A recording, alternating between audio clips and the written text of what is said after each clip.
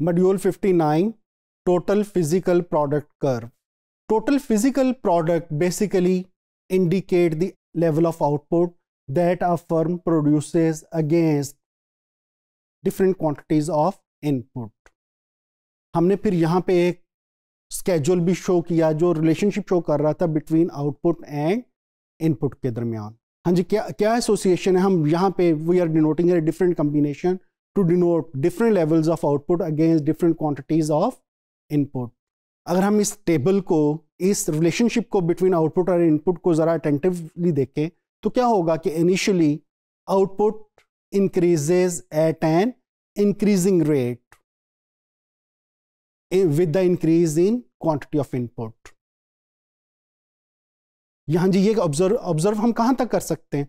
We can observe this phenomena up to combination D कि quantity of input increase हुई output में भी क्या हो गया? There is increase in output but increase in output at an increasing rate after combination D to L D to K मेरे पास situation क्या है?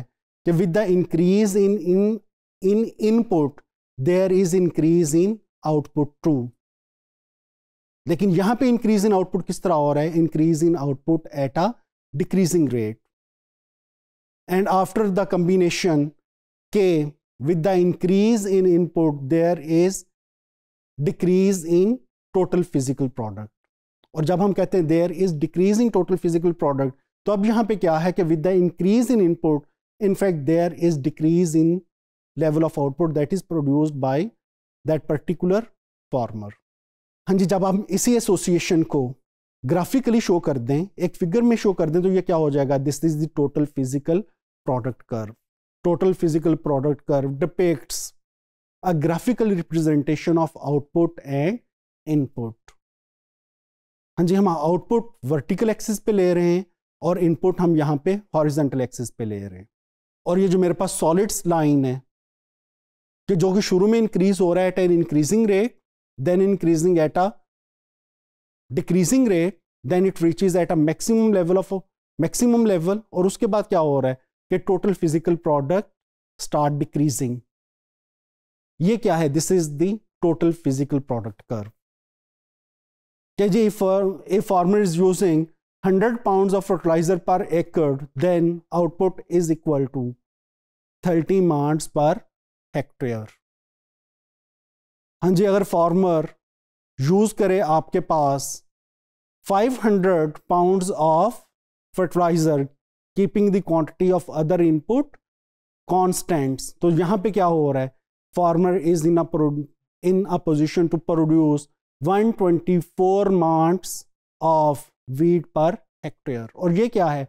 This is the maximum quantity of wheat that can be produced by the farmer when firm when farmer is changing only one input लेकिन इस maximum point तक पहुँचने से पहले तक सिचुएशन क्या है? कि up to 150 pounds of fertiliser increase in physical product is at an increasing rate. और उसके बाद क्या हो रहा है? From 150 pounds fertiliser per hectare से लेके up to 500 pounds of fertiliser per hectare output increases at a decreasing rate and after 500 500 pounds of fertiliser per hectare output में क्या हो रहा है? कि there is decrease in output so on the basis of this total physical product curve association हम क्या find out कर सकते हैं? कि we can see initially output increases at an increasing rate उसके बाद क्या होता है? Output increases at a decreasing rate and after reaching at a maximum point total physical product decreases और ये सारी चीज़, चीज़ें हम ऑब्ज़र्व कर सकते हैं for all the agricultural output जब हम सिर्फ़ one factor variable one factor one variable factor of, one factor of input को वेरिएबल रखें और बाकी सब factor of, factors of production को क्या करें? Constant. Against given quantity of all other input a farmer is varying only one input then initially output of farming output increases at an increasing rate then it increases at a decreasing rate और finally क्या होगा? It will reach at a maximum point and increase in output because of increasing if there is decrease in output because of increase in input